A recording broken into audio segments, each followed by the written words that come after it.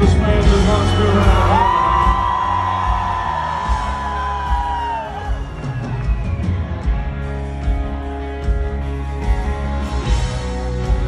first time we came to Alabama, we came here with him and Skinner.